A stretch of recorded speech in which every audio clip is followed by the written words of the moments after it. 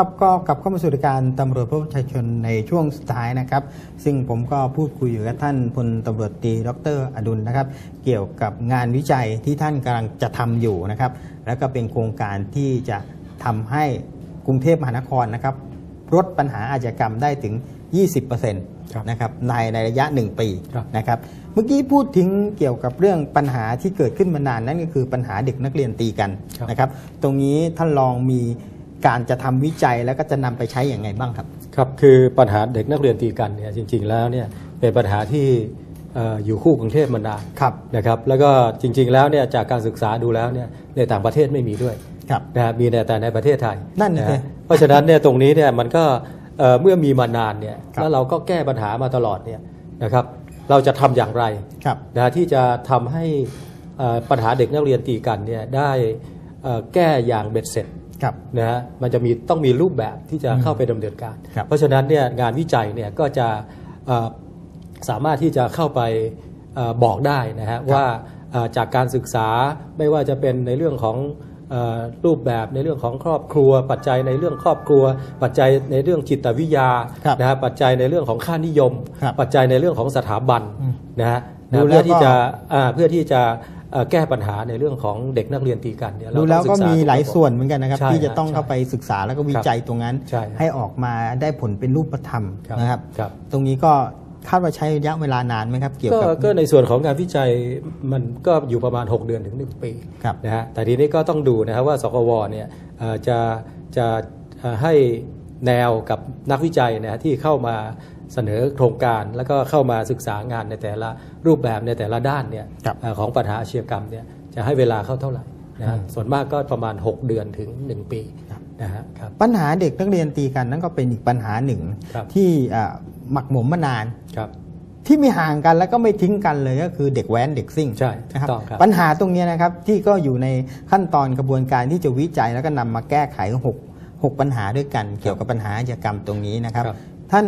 มีแนวโน้มและมีความคิดยังไงเกี่ยวกับเรื่องนี้ครับครับ ก็ทั้งเด็กแว้นแล้วก็เด็กนักเรียนตีกันเนี่ยใช่ครับจริง ๆ แล้วเนี่ยเอ่อถามว่าจะเป็นกลุ่มเดียวกันไหมใช่นะฮะก็ก็มีส่วนครับส่วนหนึ่งนะฮะแต่ถามว่าจะเป็นกลุ่มเดียวกันจริงๆเนี่ยมันมันต้องแยกส่วนกัน เพราะว่าเอ่อเด็กนักเรียนตีกันเนี่ยจะเป็นในเรื่องของสถาบันครับโดยเฉพาะอย่างยิ่งในส่วนของอาชีวศึกษา หรืออุดมศึกษาครับนะฮะที่ที่อาจจะมีข้อขัดแย้งหรือบาดหมางกันมา นะฮะเอ่อส่วนเด็กแว้นเนี่ยมันก็จะเป็นเด็กที่เอ่อมาจากเอ่อแหล่งต่างๆ แล้วก็มารวมกันแล้วก็มาครับแข่งรถกันนะฮะซึ่งตรงนี้มันก็เป็นค่านิยมครับนะฮะแล้วก็เป็นเอ่อคล้ายๆอะไรอะฮะมันเอ่อเป็นสิ่งที่บ่งบอกถึงลักษณะที่ว่าเป็นความเท่ความอะไรต่างๆที่ที่ตรงเนี้ยเราต้องเข้าไปศึกษาดูว่าเอ่อเราจะแก้ปัญหาตรงเนี้ยได้เบ็ดเสร็จได้อย่างไรครับต้องมองลึกลงไปถึงอ่า สถาบันครอบครัวเลยไหมครับ การวิอันจัยนี้แน่นอนฮะครับการศึกษาเนี่ยก็ต้องเข้าไปดูว่าเอ่อปัญหาทั้งหมดเนี่ยเอ่ออย่างอย่างในกรณีเด็กเอ่อนักเรียนตีกันเนี่ยครับเราก็ต้องมาชั่งน้ำหนักดูว่าโรงเรียนเนี่ยมันมีทั้งโรงเรียนของรัฐบาล แล้วก็ครับโรงเรียนของเอกชนนะฮะเอ่อนอกจากนั้นแล้วเนี่ยก็จะมีทั้งเอ่อในส่วนของอาชีวศึกษาครับนะฮะแล้วก็ในส่วนของสถาบันศึกษานะฮะก็คือไอเด็กในในส่วนของอุดมศึกษาต่างๆครับ นะเพราะฉะนั้นตรงเนี้ยต้องมาไล่วิเคราะห์ดูนะถ้าวิจัยวิเคราะห์วิจัยดูแล้วเนี่ยมันก็จะรู้สาเหตุครับรู้ปัญหาจริง ๆ แล้วก็เราก็จะสามารถที่จะแก้ปัญหาได้ถูกจุดนะครับครับผมแล้วเกี่ยวกับเรื่องพันอ่าปัญหาเกี่ยวกับการพนันล่ะครับครับเอ่อการพนันเนี่ยจริง ๆแล้วเอ่อถ้าจะพูดไปเนี่ยฮะมันอยู่คู่กับคนคนไทยมานานนะครัฮะบเอ่อแม้กระทั่งคนที่เอ่อนั่งกันอยู่ในรถเนี่ยนะฮะครับนะฮะรถวิ่งผ่านไปเนี่ยเรียกคู่เรียกขี้ครับนะฮะเอ่อ สุนัขกัดกันนะฮะอ่าก็มีการการพนันตีไก่กันก็พนันกันก็เพไม่ราะฉะต้อนั้งนตรงนี้เนี่ยมันไม่ต้องก็ไปดูอะไรมากครับอ่าแค่วินมอเตอร์ไซค์ก็นั่งปั่นแปะกันอยู่แล้วอ่าใช่นะหัฮะวเพราะก้อยฉะนั้นหัวตรงก้อยนี้เอ่อมันก็อยู่คู่คนไทยครับนะฮะเพราะฉะนั้นตรงนี้เนี่ยปัญหาในเรื่องของการพนันเนี่ยมันเอ่อก็คงจะต้องเข้าไปแก้ในเอ่อรายละเอียดของปัญหาต่างครับๆนะฮะซึ่งการพนันเนี่ยมันมีหลายส่วนนะฮะตามพรบการพนันเนี่ยการพนันมีหลายอย่างไม่ครับไฮโลโปทัวร์บาคาร่า นะฮะรวมทั้งไอ้ไอ้เขาเรียกว่าโยนหัวโยนก้อยก็ถือว่าเป็นการพนันครับนะฮะแล้วยังไปมีจับยีกีมีอะไรต่ออะไรอีกเยอะแยะเพราะฉะนั้นเนี่ยในปัญหาการพนันเนี่ยในในกรุงเทพมหานครเนี่ยมันก็ต่างกับต่างจังหวัดครับนะฮะในกรุงเทพมหานครเนี่ยก็จะมีการพนันที่เป็นในลักษณะของบ่อนเล็กบ่อนน้อย หรือการลักลอบเล่นนะฮะซึ่งในส่วนนี้เนี่ยเอ่อเราก็ต้องเข้าไปศึกษาดูนะฮะว่าเอ่อในอย่างต่างประเทศเนี่ยครับนะฮะการพนันอย่างเมื่อ 2 อาทิตย์ที่ผ่านมาผมก็ไปเอ่อ ที่อเมริกาครับนะฮะเมื่อเดือนที่แล้วผมก็ไปที่ลอนดอนที่ครับอังกฤษนะฮะของเขาเนี่ยเขากลางเมืองเลยคาสิโนนั่นเขาถูกต้องตามกฎหอ่าเขามายทำถูกต้องตามกฎหมายครับแต่บ้านเราไม่มี แต่พอไม่มีปุ๊บเนี่ยทำยังไงฮะก็ตามรอบบ้านเราเนี่ยอ่าทั้งเหนือทั้งเหนือกลางไออีสานใต้ระยองเอ่อระนองอะไรต่ออะไรมีรอบชายแดนรอบชายตะแดเข็นบมีครบของหมดไทยนี่ก็มีเกือบรอบเลยเกือบรอบเลย แล้วก็อีกอย่างหนึ่งคือผมนั่งคิดดูนะครับ เกี่ยวกับการพนันเนี่ย ถ้าเกิดประเทศไทยเราเนี่ย มีการกวดขันและจับกลุ่มจริง ๆ นี่ครับ ผมว่าประเทศเราจะเสียเปรียบไหมเพราะว่ายังไงเนี่ยนักพนันที่เล่นการพนันก็ยัต้องงไงไปก็เล่นต้องออกไปเล่นต้องออกไปเล่นที่ครับอื่นออกไปเล่นที่อื่น ครับและเม็ดเงินเหล่านั้นน่ะไม่ใช่น้อยๆนะครับ ครับเป็นร้อยร้อยๆล้านเลยก็ใช่ว่าได้ถูกต้องบางคนเนี่ยไปเล่นเนี่ยบางทีผมเคยไปนั่งคุยกับคนที่เล่นการพนันนะคครัรับบ บอกอ่าช่วงนี้ประเทศไทยไม่สามารถที่จะเล่นได้ ก็ข้ามไปฝั่งนู้นใช่นี่ไปเสียมา300ล้านครับ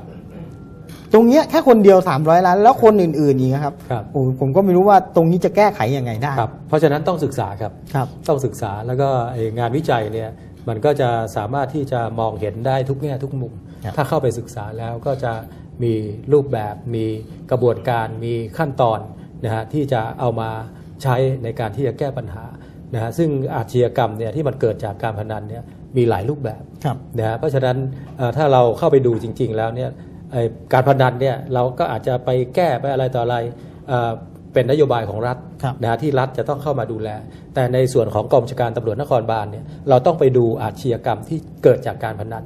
นะฮะเมื่อไปเล่นการพนันแล้วไปทำอะไรต่ออะไรไปสร้างปัญหาไปครับ ลักทรัพย์ไปโจรกรรมไปอะไรต่ออะไรซึ่งตรงนี้เนี่ยเราต้องดูรูปแบบตรงนี้เพื่อที่จะตัดขั้นตอนกระบวนการ แต่ถ้าที่ผมดูนะครับการเล่นการพนันนะครับ คือผมไม่ได้จะเข้าข้างกับคนเล่นการพนัน หรือว่าจะเข้าข้างฝ่ายใดฝ่ายหนึ่ง แต่ครับเท่าที่คุยก็คือว่าหนึ่งก็คืออาชญากรรมที่เกิดขึ้นโดยส่วนใหญ่แล้วนะครับ จะมาจากบ่อนครับบอลนะครับบอลบอลเนี่ยที่เล่นการพนันบอลเนี่ยฟุตบอลฟุตบอลเนี่ยนะครับใช่ก็คือ อ่าพอแทงเข้าไปแล้ว ครับไม่มีเงินจ่ายก็เขาก็ตามมาทวงทวงทวงหนี่ใช่แต่ในบ่อนผมยังไม่เคยเห็นนะครับ ครับ ในบ่อนนี่ผมไม่เคยเห็นว่าใครไปเล่นในบ่อนนี้แล้วมีมาทวงหนี้ครับหรือว่าฆ่ากันตายอะไรอย่างนี้ ครับแต่ส่วนใหญ่จะเป็นบอลหรือว่าไม่ก็เป็นอ่าอะไรที่มันอยู่ด้านนอกใช่ นะครับ ที่เล่นกันบริเวณด้านนอก ตรงเนี้ยปัญหาเหล่านี้ต่างๆ เนี่ย มันมีเยอะมากแล้วมันจะดูแลยังไงไหวอะครับ ครับเพราะเรานั่งกันอยู่อย่างนี้เราก็สามารถที่จะโทรเล่นได้ละใช่ใช่ครับอันนี้ก็เป็นอีกส่วนหนึ่งนะฮะที่จริงๆแล้วเนยทางกองบัญชาการตำรวจนครบาลเนี่ยเราก็ได้กดขันนะฮะครับโดยเฉพาะอย่างยิ่งในช่วงเอ่อการฝึกหัดฟุตบอลเนี่ยเราได้มีการตั้งวอลลุ่มการตั้งไอ้ศูนย์ปฏิบัติการ แล้วก็เรามีการจับกลุ่มได้ตลอดเลยนะฮะครับเพราะว่าไอ้การแทงการพนันการแทงฟุตบอลเนี่ย มันไม่ใช่แทงเหมือนแทงไฮโลครับนะฮะการจับกลุ่มก็มีหลักฐานมีอะไรต่างๆมันแทงทางอินเทอร์เน็ตค่อนยากค่อนข้างยากเหมือนกันครับใช่คืออยู่โทรไปสั่งก็โทรก็ลำบากแล้วครับแต่ว่าอันนี้มีการแทงกันทางเอาอินเทอร์เน็นี้ก็ถือว่าเป็นสิ่งหนึ่งนะครับครับก็เป็นสิ่งหนึ่งที่เป็นจะการต้องท้าทายทำการงานวิจัยเหมือนกันนะครับใช่ก็ต้องเข้าไปดูให้ครบถ้วนครับแล้วเกี่ยวกับเรื่องปัญหายาเสพติดล่ะครับครับอันนี้ก็เป็นอีกปัญหาหนึ่งนะฮะครับที่เราเห็นว่าเอ่อในกรุงเทพมหานครเนี่ยอย่างทุกวันนี้เนี่ยยาเสพติดเนี่ย เป็นปัญหาที่เอ่อเรื้อรังแล้วก็รุนแรงครับขึ้นเรื่อยๆ แม้กระทั่งเราจะมีการจับกลุ่มเอ่ออยู่ตลอดเนี่ยครับเราก็ยังเอ่อจับกลุ่มเป็นล้านล้านๆเม็ดเนี่ยนะฮะไม่กี่วันเนี้ก็จับครับเป็นล้านล้านๆเม็ดเลยนะฮะครับแต่ปรากฏว่ามันก็มีความมากขึ้นเรื่อยๆนะฮะซึ่งตรงนี้เนี่ยเราก็คงต้องไปดูนะว่าเอ่อปัญหาในเรื่องของยาเสพติดเนี่ยนะในกรุงเทพมหานครเนี่ยอันนี้เราเราพอยเฉพาะในกรุงเทพมหานคครัรบเนี่ย เราจะต้องมีการแก้ปัญหาอย่างไรนะครับในในในชุมชนนะในชุมชนต่างๆ ที่เป็นชุมชนที่เป็นปัญหายาเสโดพยติดปกติทั่วไปครับช่วงเช้าๆนี่ตำรวจทุกที่พื้นที่ก็จะมีการปิดล้อมตรวจค้นชุมชนใช่เกี่ยวกับปัญหายาเสพติดใช่ตรงนี้ใช่นะครับการปิดล้อมตรวจค้นทุกชุมชนนั่นผมก็ถือว่ามันเป็นการแก้ไขปัญหาอ่าส่วนอีกหนึ่งส่วนหนึ่งใช่นะครับอ่าการที่จะทำงานวิจัยลงไปตรงเนี้ยมันจะต้องศึกษาอย่างละเอียดครับ นะครับ ใช่แล้วแล้วก็ต้องศึกษาถึงไอ้การจัดการความรู้ในการทำงานด้วยครับนะศึกษาของรูปแบบของปัญหานะแล้วก็สภาพปัญหาต่างๆนะฮะรวมทั้งแนวทางในการที่จะแก้ไขปัญหาด้วยครับครับครับ ก็อ่าโครงการนี้นะครับสกวก็ให้อ่า งบประมาณในการสนับสนุนทำงานวิจัยนะครับ ทั้งหมดก็มีอ่าเกี่ยวกับปัญหาอาชญากรรมกิก็ทั้งหมดก็มี 6 ข้อด้วยกันนะครับเกี่ยวกับเรื่องสถานบันเทิงนะครับครับแล้วก็คนร้ายข้ามชาติครับนะครับเด็กแว้น เด็กครับนักเรียนตีกันการพนันและยาเสพติดครับอะตรงนี้เราได้งบประมาณมาแล้วขั้นตอนต่อไปที่เราจะหาอ่าคนมาทำวิจัยนี้เราจะทำยังไงครับครับ คือตอนนี้หลังจากที่ได้มีการทำกรอบเรียบร้อยแล้วก็ครับจะ ทำร่างการประกาศทุนนะซึ่งตอนนี้เราทำเสร็จเรียบร้อยแล้วนะก็จะนำเสนอในส่วนของขั้นตอนของสกวครับนะฮะเมื่อได้รับอนุมัติให้ประกาศทุนเนี่ยก็จะประกาศทางอินเทอร์เน็ตเนี่ยนะฮะครับแล้วซึ่งนักวิจัยเนี่ยทั่วประเทศเนี่ยนะเขาจะรู้อยู่แล้วว่าเอ่อมีการประกาศทุนครับนะเขาก็จะทำโครงการขึ้นมาเป็น proposal นำเสนอให้กับสกวครับนะหลังจากนั้นเนี่ยก็จะมีผู้ทรงคุณวุฒิของสกวได้มาพิจารณานะฮะว่ามันเป็นไปตามกรอบที่เรา ต้องการแล้วก็มันสามารถที่จะดำเนินการให้ได้ผลอย่างไรอะไรหรือไม่ โดยมีการตั้งโจทย์ตั้งคำถามตั้งอะไรต่ออะไรนะฮะแล้วหลังจากนั้นเนี่ยก็จะมีการเซ็นสัญญา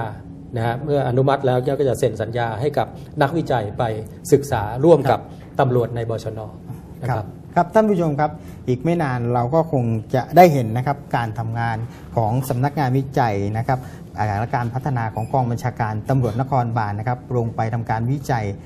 และปัญหาอาชญากรรมต่างๆ และโครงการนี้นะครับก็ได้ตั้งเป้าไว้ว่าภายใน 1 ปี จะลดปัญหาได้จะลดปัญหาอาชญากรรมได้ถึง 20%ยังไงก็ลองมาจับตาดูกันนะครับ เกี่ยวกับโครงการสำนักงานวิจัยในครั้งนี้นะครับ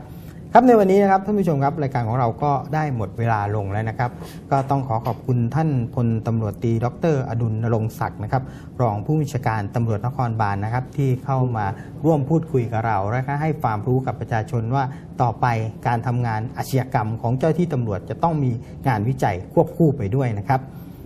ก็